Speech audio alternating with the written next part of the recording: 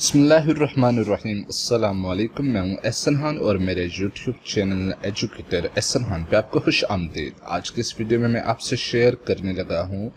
F P S C lecturer computer science lecturer IT और TGT computer science की preparation series की video number 56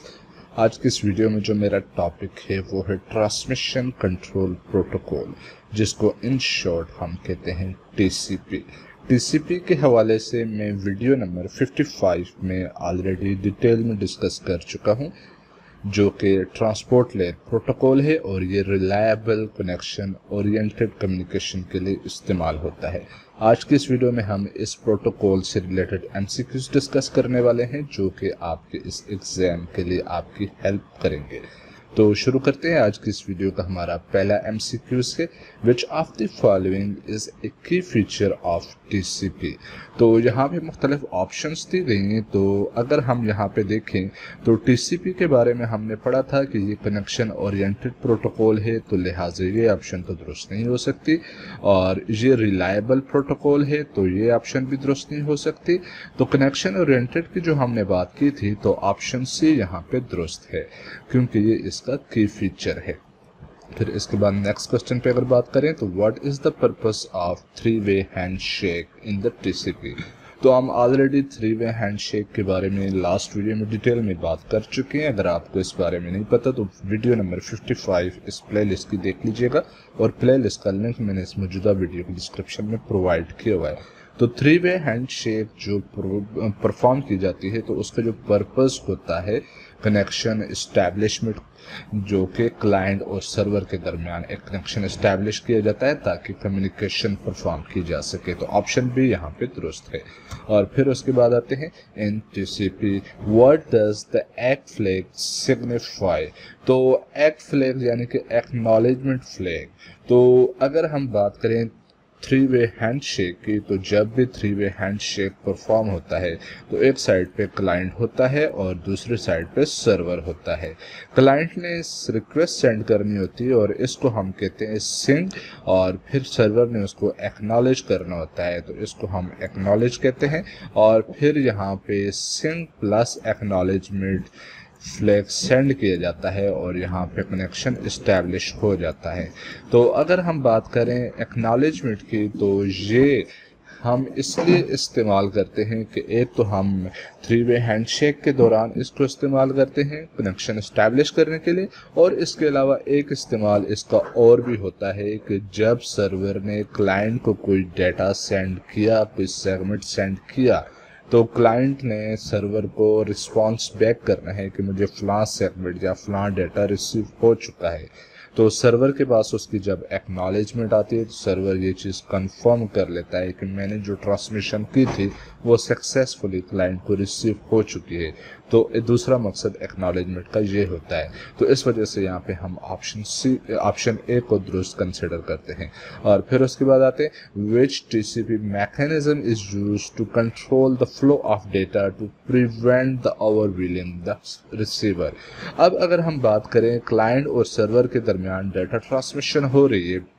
और client को data receive हो रहा है सर्वर की तरफ़ से और क्लाइंट के पास इतनी कैपेबिलिटी नहीं है कि सर्वर जिस स्पीड से डाटा उसको सेंड कर रहा है, उसी स्पीड से उसको प्रोसेस कर सके। तो वो जो स्पीड का डिफरेंस होता है, वो क्लाइंट को ओवरबर्डन कर देता है, जिसकी वजह से हमारी ट्रांसमिशन में प्रॉब्लम क्रिएट होती है पैकेट लॉस्ट होते हैं, या क्लाइंट का कोई ना कोई और इस तरह से मसला बन जाता है कि हमारी ट्रांसमिशन सक्सेसफुली कंप्लीट नहीं हो पाती। तो इस चीज़ को ओवरकम करने के लिए हमें डेटा फ्लो को मैनेज करना होता है कि सर्वर उतना ही डेटा सेंड करे जितना क्लाइंट इजीली उसको मैनेज कर ले। लेट्स सपोज़ के क्लाइंट को एक सेकंड में दस पैकेट रिसीव हो रहे हैं, लेकिन क्लाइंट की जो कैपेसिटी है वो एक सेकंड में फाइव पैकेट्स को प्रोसेस करने की है। तो सर्वर उसको फाइव एक सेकंड में सेंड करेगा, बजाय इसके दस पैकेट सेंड करे। तो इसके लिए जो हम टर्म इस्तेमाल करते हैं, इस चीज़ को ओवरकम करने के लिए, वो है स्लाइडिंग विंडो प्रोटोकॉल जो कि क्लाइंट और सर्वर के दरमियान स्पीड डिफरेंस को मैनेज करता है और उनकी कम्युनिकेशन को सक्सेसफुल बनाने के लिए इस चीज़ को मैक श्योर करता है। फिर उसके बाद आते हैं how does TCP ensures data integrity तो टीसीपी का जो हेडर होता है उसके अंदर एक चीज़ इस्तेमाल की जाती है, जिसको कहा जाता है चेकसम अब सेंडर ने जो चेकसम इस्तेमाल किया, वो क्लाइंट के ऊपर क्रॉस चेक किया जाता है। तो क्लाइंट को जो पैकेट रिसीव हुआ, अगर तो उसका चेक सम प्रॉपर है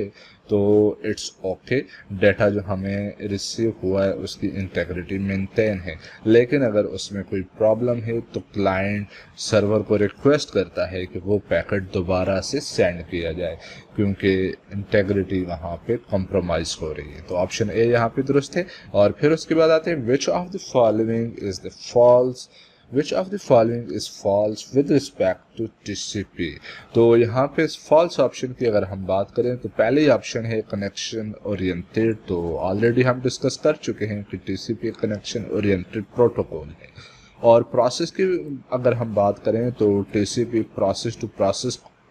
function perform करता है कि जब हम अपने सिस्टम पे मल्टीपल सर्विसेज़ इस्तेमाल कर रहे होते हैं तो हर सर्विस के अपने प्रोसेसेस अंडर गो होते हैं तो उनके दरमियान डिफ्रेंशिएट करना जो हमें ये चीज़ मैक श्योर करता है या पॉसिबल बनाता है, वो ट्रांसपोर्ट लेयर करती है, क्योंकि हम हर सर्विस के अगेंस्ट एक पोर्ट नंबर इस्तेमाल करते हैं, जो हमें ये फैसिलिटी देती है कि हर प्रोसेस को हम दूसरे के साथ डिफ्रेंशिएट कर सकते हैं। और फिर इसके बाद अगर बात की जाए तो टीसीपी एक ट्रांसपोर्ट लेयर प्रोटोकॉल है। तो ये तीनों ऑप्शन तो फॉल्स नहीं हो सकती, ये ट्रूली टीसीपी को डिफाइन कर रही है। लेकिन ऑप्शन डी की अगर हम बात करें तो टीसीपी के बारे में हम ये डिटेल में पढ़ चुके हैं कि ये रिलायबल प्रोटोकॉल है तो ऑप्शन डी यहाँ पे इसका दुरुस्त ऑप्शन है, क्योंकि हम यहाँ पे फॉल्स की बात कर रहे हैं। और फिर उसके बाद नेक्स्ट क्वेश्चन है in TCP sending and receiving data is done as तो ये स्ट्रीम ऑफ़ बाइट्स की सूरत में सेंडिंग एंड रिसीविंग हो रही होती है। और अगर हम बात करें तो TCP provides stream oriented delivery between host communicating an IP network and there are no message boundaries. TCP can contain data from a number of send यहाँ पे send एक मेथड uh, है या फ़ंक्शन है जो कि कमांड करता है to one stream of data and still transmit it reliable reliably कि हम किसी भी स्ट्रीम के साथ डाटा को कंकटिनेट करके उसको कैरी ऑन कर सकते हैं। और फिर उसके बाद नेक्स्ट क्वेश्चन पे अगर हम आए तो टीसीपी प्रोसेस में not write and read data at the same speed so we need dash for storage तो अभी थोड़ी देर पहले मैंने आपको जो बताया कि हम क्लाइंट और सर्वर की स्पीड डिफरेंस को मैनेज करने के लिए जो विंडोइंग पॉलिसी इस्तेमाल करते हैं फ्लो कंट्रोल को मैनेज करने के लिए तो इस चीज़ को ओवरकम करने के लिए साथ में हम बफर भी इस्तेमाल करते हैं। बफर का पर्पस क्या होता है कि जब सर्वर से क्लाइंट को डेटा रिसीव हुआ और क्लाइंट उसको प्रोसेस करता है और इतनी देर में और डेटा भी क्लाइंट के पास आ जाता है तो क्लाइंट अभी ऑलरेडी करंटली वर्किंग में है, जो मौजूदा उसको डेटा रिसीव हो चुका है, लेकिन जो नया डेटा उसको रिसीव हो चुका है, उसको भी तो मेंटेन करना है तो उसको टेम्परेरीली स्टोर कर लिया जाता है और उस टेम्परेरी स्टोरेज को कहा जाता है buffer A TCP receiver has a receive buffer that is used to store the unprocessed incoming packets in the case of sender is sending packet faster than the processing rate of the received packet. और फिर उसके बाद next question की अगर बात की जाए तो TCP groups a number of bytes together into a packet is called तो टीसीपी के ऊपर जो डाटा फॉर्मेट होता है, उसको कहा जाता है सेगमेंट अगर हम बात करें, सबसे पहले डाटा हमारा जो इनिशिएट होता है, वो एप्लीकेशन लेयर से इनिशिएट होता है और उसको कहा जाता है पेलोड पेलोड जब ट्रांसपोर्ट लेयर पे पहुँचता है तो उसके ऊपर IP address sorry port number encapsulate किया जाता है तो वो बन जाता है सेगमेंट और वही सेगमेंट जब नेटवर्क लेयर पे आता है तो उसके ऊपर आईपी एड्रेस इनकैप्सुलेट किया जाता है तो वो बन जाता है पैकेट और वही पैकेट जब डेटा लिंक लेयर पे आता है तो उसके ऊपर एक frame sorry MAC address encapsulate किया जाता है तो वो बन जाता है फ्रेम और फिर फ्रेम जब फ़िज़िकल लेयर पे आता है तो उसको बिट्स में डिवाइड कर दिया जाता है और नेटवर्क में फ़िज़िकल जो हमारे पास इंटरफेस होता है, उसके ऊपर ट्रांसमिट कर दिया जाता है. और फिर उसके बाद नेक्स्ट क्वेश्चन की अगर बात करें तो communication offered by TCP is full duplex full duplex half duplex and simplex जो हमारे कम्युनिकेशन मोड्स हैं तो इस वीडियो सीरीज़ जो कि मैंने आपको ये प्रोवाइड की है जिसका लिंक मैंने डिस्क्रिप्शन में प्रोवाइड किया हुआ है तो इस प्लेलिस्ट के दौरान मैंने कई बार ये चीज़ डिस्कस की है कि जो सिंप्लेक्स मोड होता है, वो ऐसा मोड होता है कि जिसमें कम्युनिकेशन एक ही डायरेक्शन में होती है और all the time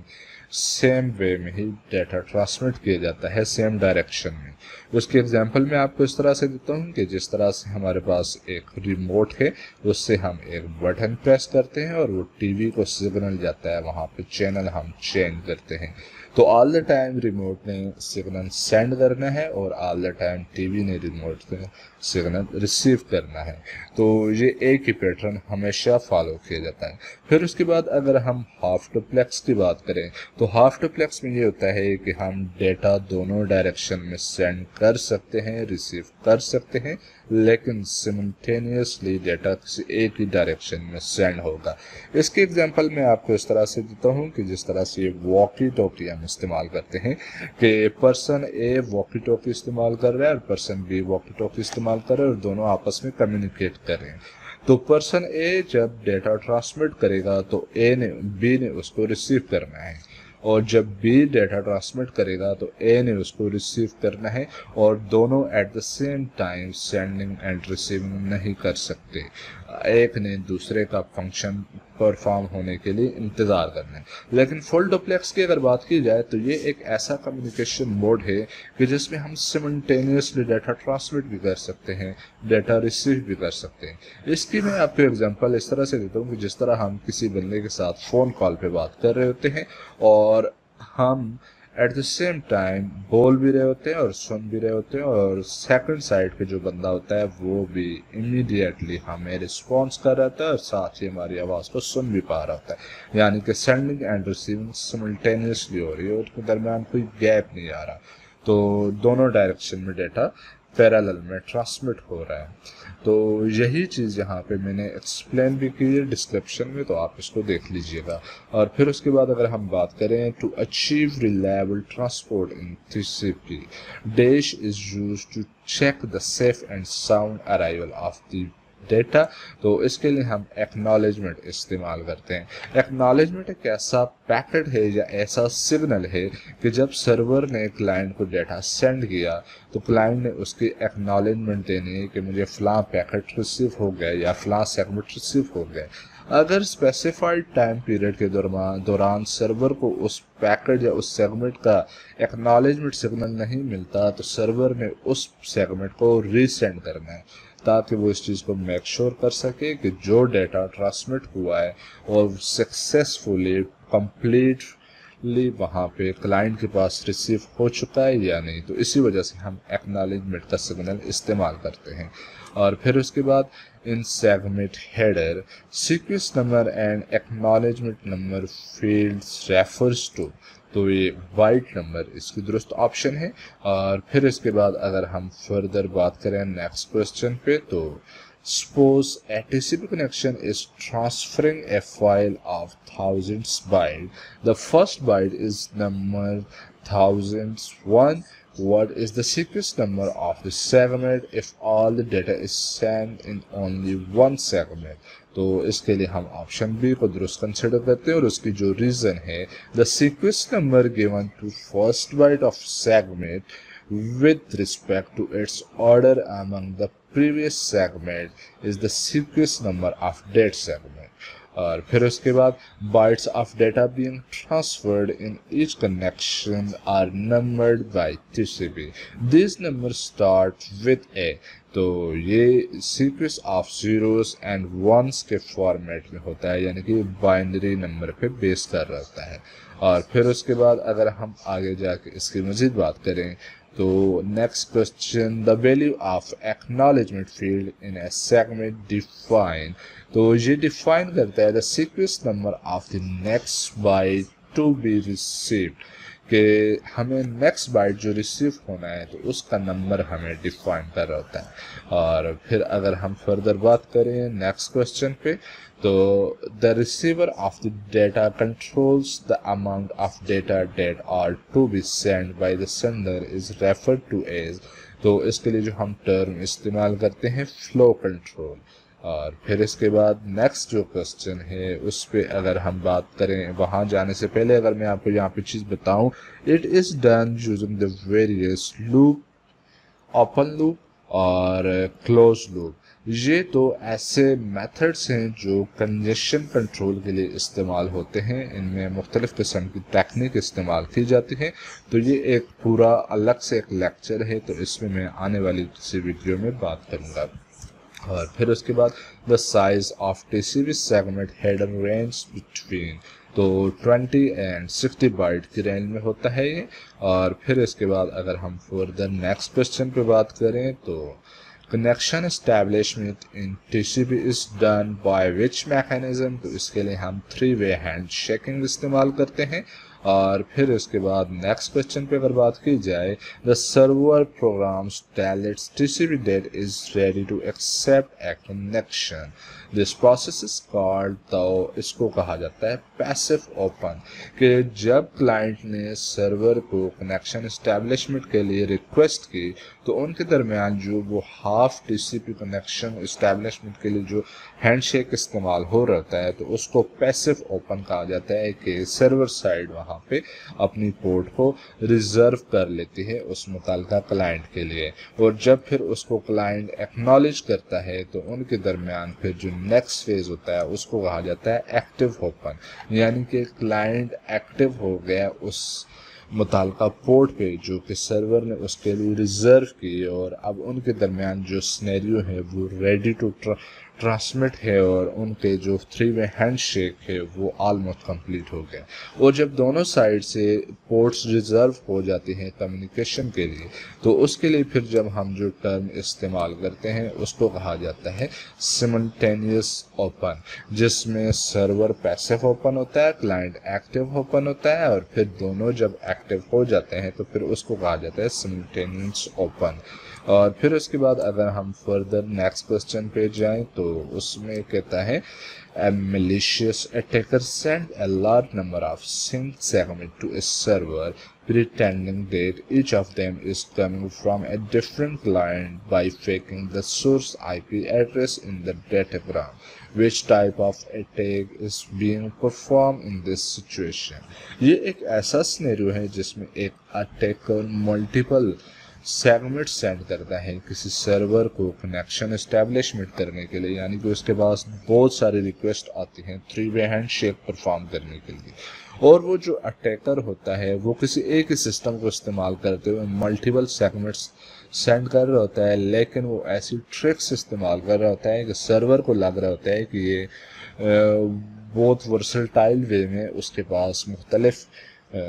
क्लाइंट्स की तरफ़ से जो थ्री में हैंड शेक या यानी कनेक्शन इस्टेब्लिशमेंट के लिए रिक्वेस्ट आ रही हैं। तो उसकी जो नंबर ऑफ़ रिक्वेस्ट होती हैं, वो इतनी ज़्यादा होती हैं कि सर्वर ओवर बर्डन हो जाता है। और जो एक्चुअल यूज़र होते हैं, जो उस सर्वर को एक्सेस करना चाह रहे होते हैं तो सर्वर उनको रिस्पॉन्स नहीं कर पा रहा होता। तो इसके लिए जो हम टर्म इस्तेमाल करते हैं, इसको कहा जाता है सिंक फ्लडिंग अटैक और इसका नतीजा ये निकलता है कि ये डिनाइल ऑफ़ सर्विस अटैक सूरत अख्तियार कर जाता है कि जिसमें एक सर्वर एक्चुअल रिक्वेस्ट को एंटरटेन नहीं कर सकता, बल्कि वो डिनाइल ऑफ़ सर्विस स्टेट में चला जाता है। और फिर इसके बाद अगर हम बात करें जो सिंक फ्लड अटैक होता है, ये बिलोंग करता है डिनाइल ऑफ़ सर्विस अटैक। यहाँ पे डिनाइल ऑफ़ सर्विस की अगर बात की जाए तो इस पर भी एक प्रॉपर लेक्चर आने वाली वीडियोस में आने वाला है, जिसमें हम डिनाइल ऑफ़ सर्विस अटैक को डिस्कस करेंगे और distributed denial of service attack को भी डिस्कस करेंगे। ये भी एक इंपॉर्टेंट टॉपिक है। और फिर इसके बाद अगर हम फर्दर बात करें the size of source and destination port address in TCP header or तो जो साइज़ है आइदर वो सोर्स पोर्ट हो या डेस्टिनेशन पोर्ट हो, उसका जो साइज़ होता है वो 16 बिट्स ही रहता है। और फिर उसके बाद अगर हम फर्दर बात करें लास्ट क्वेश्चन है जो इस वीडियो का what allows TCP to detect loss segments and in turn recover from that loss तो इसके लिए हम इस्तेमाल करते हैं एक्नॉलेजमेंट नंबर के हर सेगमेंट का अपना एक सीक्वेंस नंबर होता है, और जब वो सेगमेंट रिसीव होता है तो उस नंबर की एक्नॉलेजमेंट सर्वर को रिसीव होती है। अगर वो मुतल नंबर की एक्नॉलेजमेंट रिसीव ना हो तो सर्वर ने उसको रिट्रांसमिट करना होता है, और अगर क्लाइंट के पास वो पैकेट रिसीव होता है और वो को करप्टेड है या उसमें कोई प्रॉब्लम है फॉल्ट है तो वो सर्वर को वो नंबर प्रोवाइड करता है कि ये वाला सीक्वेंस नंबर का सेगमेंट मुझे रीसेंड किया जाए। तो इस तरह रीट्रांसमिशन की टेक्निक को अडाप्ट करते हुए जो सक्सेसफुल ट्रांसमिशन होती है डाटा की, के तमाम सेगमेंट सक्सेसफुली रिसीव हो जाए तो इस चीज़ को मेक श्योर किया जाता है। तो यहाँ पे आज के सवाल कंप्लीट हो गए हैं और इससे नेक्स्ट वीडियो में हम मज़ीद इस तरह के टॉपिक डिस्कस करेंगे और नेक्स्ट जो टॉपिक मैं डिस्कस करने वाला हूँ वो है यू जो कि TCP के पैरल में एक प्रोटोकॉल इस्तेमाल होता है ट्रांसपोर्ट लेयर पे। तो उसको डिस्कस करेंगे। तो मिलते हैं नेक्स्ट वीडियो में। तब तक के लिए अल्लाह हाफिज़।